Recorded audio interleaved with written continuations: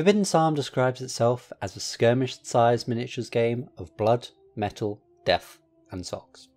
Created by Kevin Rahman Daltrey and played on a 2 foot by 2 foot area, Forbidden Psalm is a game both set in and fully compatible with the Mörk Borg RPG system, and the love and passion Kevin has for Mörk Borg is evident from the very first page.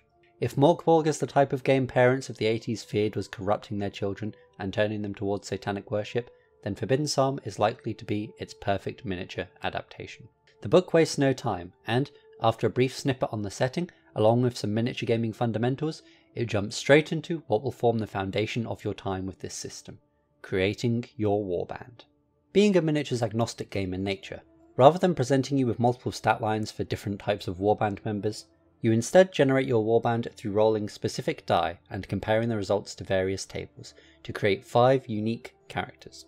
It is with these initial downtrodden helpless souls that you will serve the Mad Wizard in his search for the powerful Forbidden Psalm.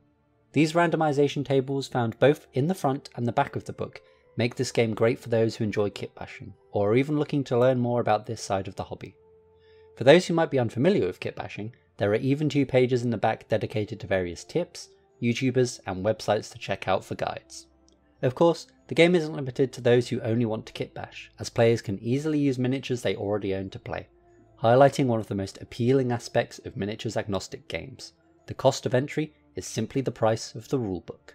While randomization tables may put some players off, there is nothing to say you couldn't simply pick and choose to build your characters how you want, as after all, these games are designed to be played as you see fit. Personally, I find there is a certain satisfaction to these tables, as not only does it help provide me with names, something I am notoriously bad at thinking of, but these types of tables always seem to have a way of generating a character that just makes sense, and instantly inspires the formation of a rough backstory of what led them to this point in their life. Whilst Forbidden Psalm has many strengths, of which I will be getting to shortly, something important to mention early on is what might be considered a weakness of the game the combat system. Just like in its parent system Mörk Borg, combat in Forbidden Psalm involves rolling a 20 sided die, and, after applying any modifiers, seeing if the total is higher than 12. If it is, the attack is considered a success, and damage is dealt, otherwise, it is considered a miss. This simplistic nature is something of a double edged sword, as while it may dissuade some from giving this amazing game a go, it also makes the system extremely easy to learn, and escapes the potential clunkiness that some combat systems can face. While it is simplistic, this combat system still perfectly captures the sheer brutality and thus narrative potential of the Mörk Borg universe. Melee combat is perhaps the perfect example of this, as when you hit an enemy in Forbidden Psalm, they're going to hit you back. This means if you hit one of the many hulking monstrosities of this universe, it is likely going to hit you back much harder. What was once a simple combat becomes filled with risk, forcing the player to carefully consider how certain foes need to be felled, else risk losing a valued member of the party. This mechanic helps Forbidden Psalm lean perfectly into the tone of the Mörk Borg universe. After all, life is cheap in this world, and throughout your Forbidden Psalm campaigns, models will die. The world of Forbidden Psalm is a dangerous, unforgiving place, and in the grand scheme of things, your little warband of mercenaries means very little. Should you not wish to risk the perils of melee combat, range combat would be the next best option if your warband members have keen enough eyes. But the third and easily most powerful and brutal type of attack in Forbidden Psalm is spellcasting. Each warband contains one member who can wield clean and unclean scrolls, the items that will allow you to access the dangerous magic of Forbidden Psalm. As with all attacks in Forbidden Psalm, it requires a 12 or higher to successfully cast the spell, but failing to do so is where the true danger lies. Whenever a spell fails to cast, one is added to the warband's calamity meter, which will carry across scenarios throughout your campaign. When your caster inevitably rolls a 1 whilst conjuring a spell, these calamities manifest into a horrific fate. If you get lucky, the scroll may simply be lost, they might lose a limb, take some damage, or become pinned in place for a number of rounds. But the majority of the time, these calamities will result in irreversible death. Whether it be due to the magic of the scroll backfiring and melting your caster into a puddle of ichor, a spontaneous explosion, or even the dreaded god, the two headed basilisk, coming forth from the environment and devouring your caster whole. The caster's last moments will be filled with pain and terror. Just like the melee system, casting in Forbidden Psalm really creates a sense of drama and tension, which will inevitably lead to the tide of battles turning instantly and the game becoming burnt into your memory as one to remember. Whilst talking about the dangers present in Forbidden Psalm, it is worth mentioning two areas where the system really jumps out to me the scenario and monster sections. Whilst the book only contains 11 monster profiles, each managed to capture some of the horrors found in this universe brilliantly. Thanks to the system's compatibility with Mörk Borg, it is also super easy to translate your favourite monsters from Mörk Borg into Forbidden Psalm.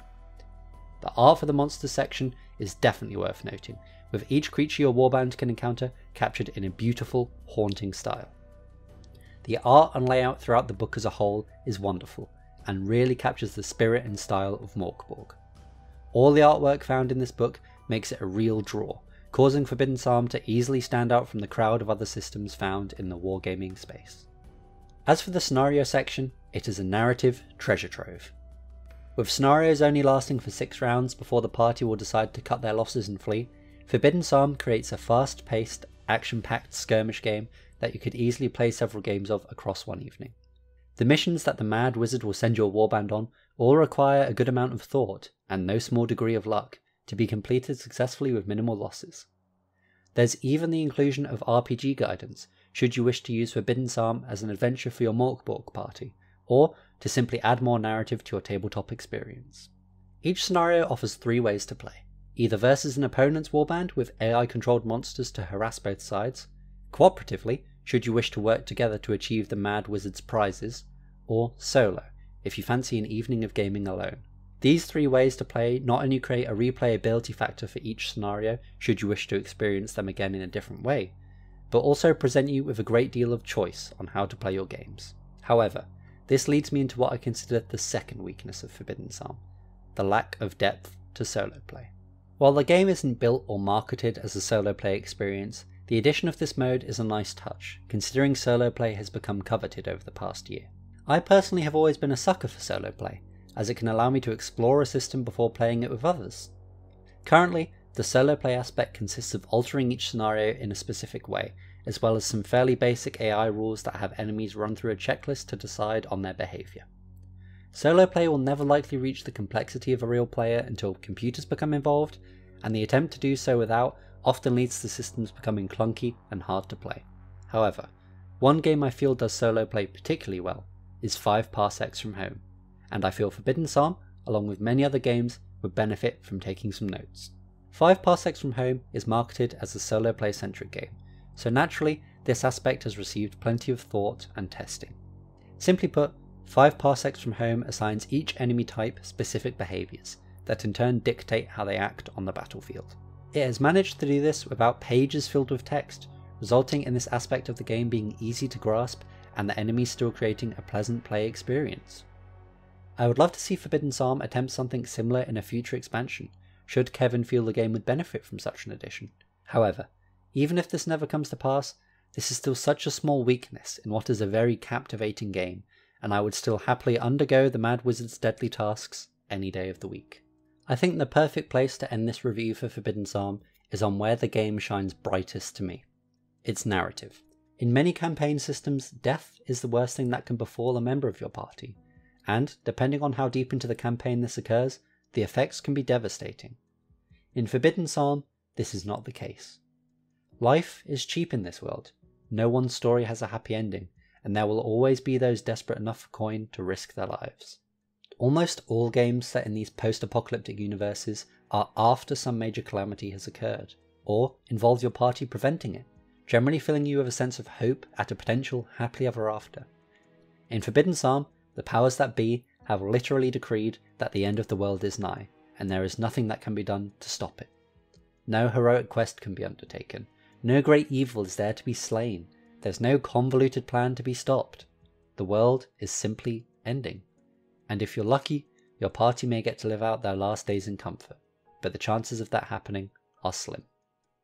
It is this sense of hopelessness, this finality, that makes Forbidden Psalm appeal to me so. Through the use of artwork, rules, and scenario design, Kevin Rahman Daltrey has managed to capture these core principles of the Mörk Borg universe and seamlessly translate them onto the tabletop for all to enjoy. When I play Forbidden Psalm, I think not of the lives my warband will lead once their dealing with the Mad Wizard has ended, I think of the hope they may cling to, the cautious optimism they might possess that things might just be okay, and how ultimately none of that matters. For their world is a cruel, unforgiving place that will take everything and leave them with nothing. In short, Forbidden Psalm is a delightful game that seamlessly translates the horrifying and doomed universe of Mörk Borg onto the tabletop for game masters to play out their sessions or wargamers to explore its horrors. While the combat system may be simple, it holds deep narrative potential, and when combined with the warband creation and scenarios, it creates a fast paced, brutal game that will leave you wanting more. If you want to pick Forbidden Psalm up, make sure to check out Rook's Press if you're in Europe, or Exalted Funeral if you're in the States. Forbidden Psalm is also available digitally on the DriveThruRPG store for all you digital loving folk out there. If you happen to be watching this video in June 2021, Kevin is also about to launch a Kickstarter campaign for the expansion book In the Footsteps of the Mad Wizard, which will also offer the opportunity pick up both the softback and hardback versions of Forbidden Psalm, so make sure to head on over to the Kickstarter and check out the project. Also, make sure to keep your eye on this channel for my foray into the world of Forbidden Psalm is coming soon. I'll see you all in the next video, and I hope you all have a wonderful day.